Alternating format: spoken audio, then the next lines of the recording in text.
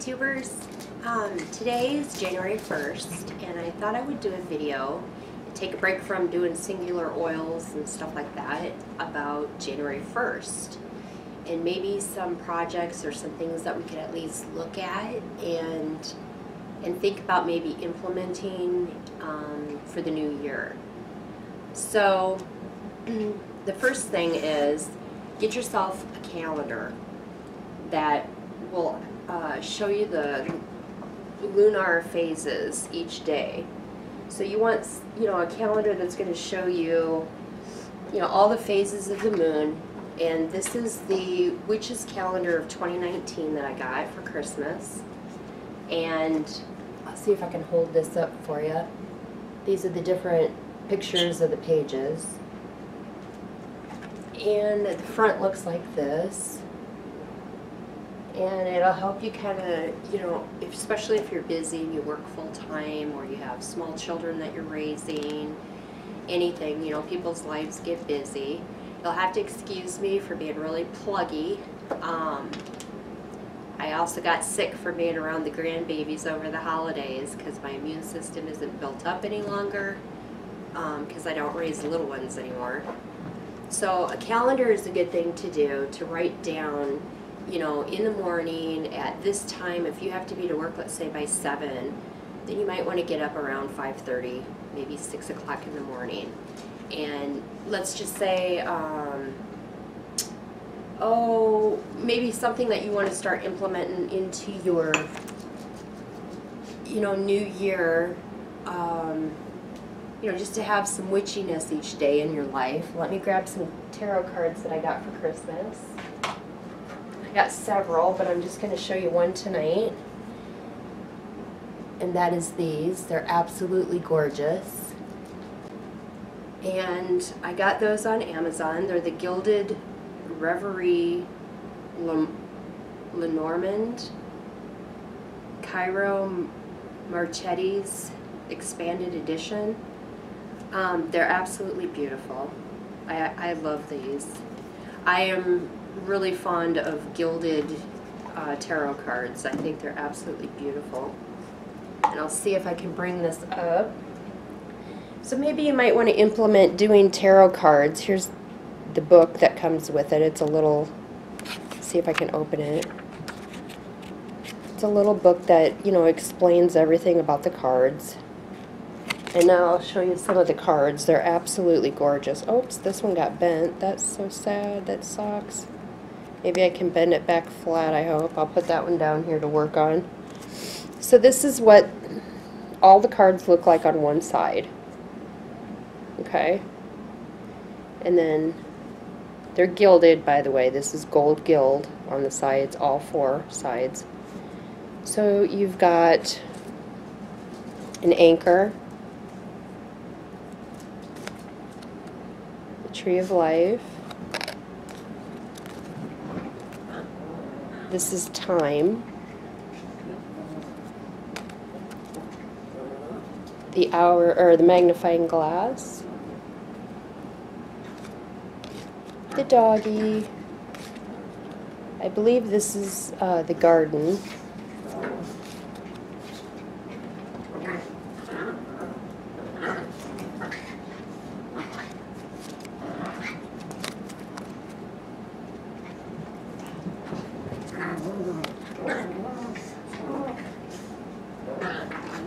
These are You hear my dogs in the background as usual.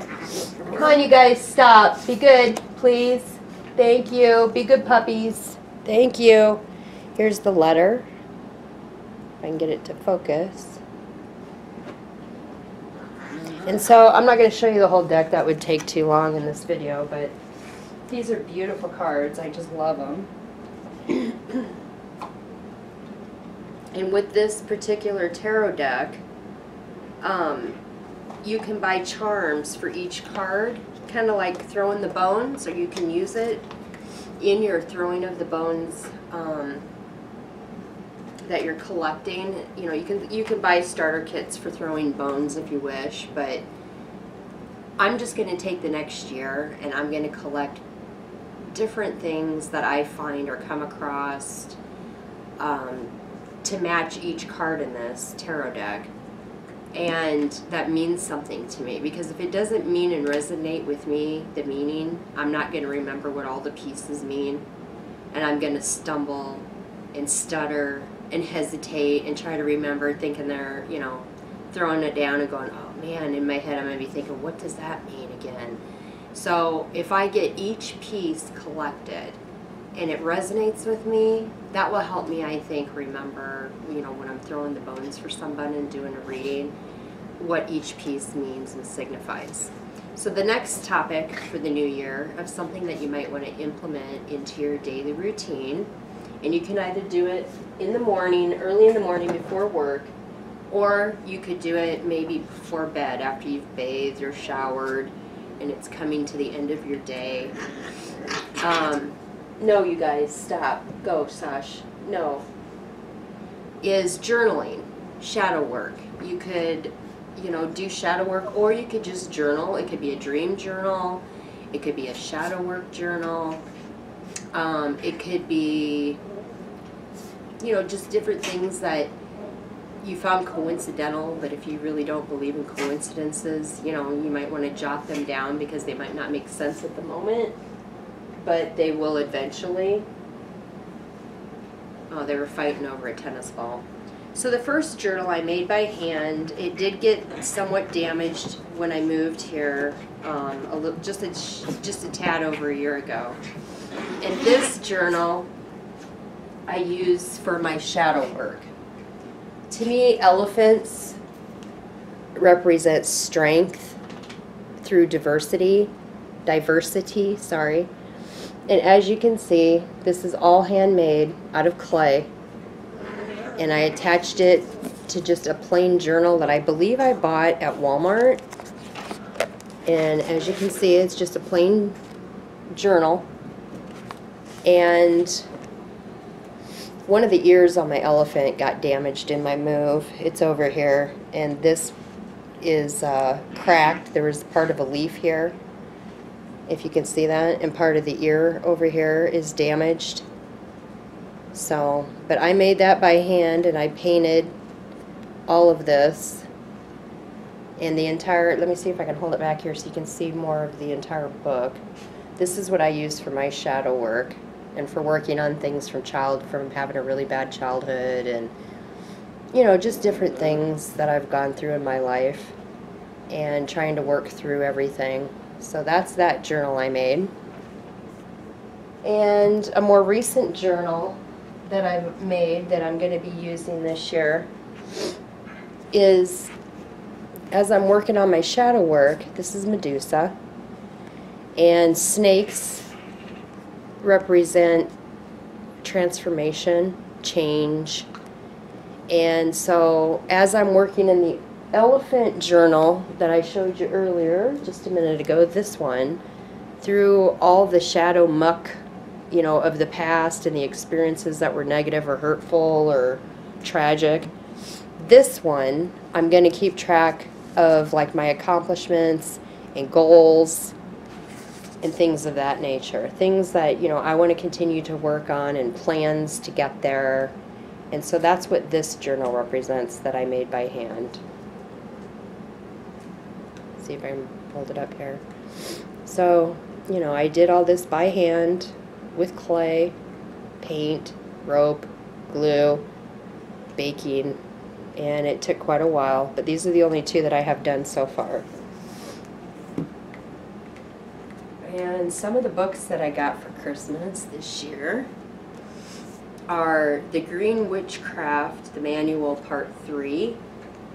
Purchased that on Amazon. Very good book. This book, I would buy one, two, and three. And something that, if you're new to uh, witchcraft or conjure work, I'm more of a conjure worker.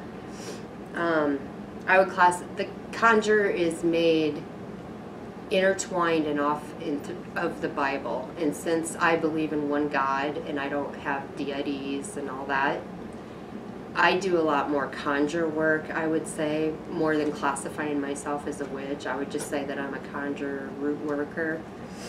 Um, So, you know, for Christmas and things, I realize in the witchy community, in the Wiccan community, you you know, you refer to it as Yule and all that. And I'm not saying that I won't refer to it on videos for those of you that are, but you're going to hear me call things Christmas, Easter, because I believe in God, one God. So that's what I base my practice off of. All of us do something different. That's what's so interesting. I belong to a gazillion witchy channels that I've subscribed to. and it's just, it's interesting to see how different people implement uh, their practice or their work, you know, in their own ways that work for themselves. One which might burn the edges of, you know, some light tan paper for labels on their herb jars and stuff to make them look more witchier. Another one might use an actual, no, Sashi, an actual label maker. Um, another witch might just handwrite them on a piece of paper and tape them on the outside of the jar or use stickers, you know, that have self-sticky on the back. There's no right way, there's no wrong way. Everybody gets to implement their own style and what works for them. What works for me in my life doesn't mean doing everything the way that I do it is going to work for you in your life because your life isn't my life and we don't walk in each other's shoes.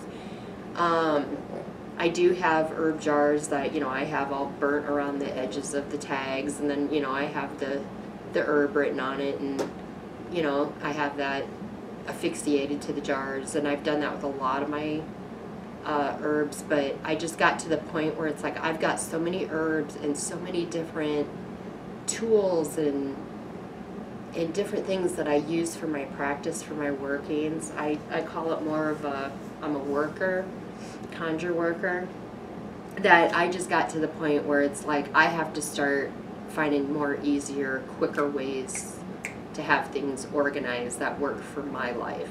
So I use a label, a labeler Okay, so another book, back to the topic at hand, is a book that's called Moon Spells How to Use the Phases of the Moon to Get What You Want by Diane Ahlquist. This was purchased also on Amazon, and this is what this book looks like. That's a very great book. You would be very pleased if you purchased, you had the money just for one moon phase slash spell ritual book. This is it.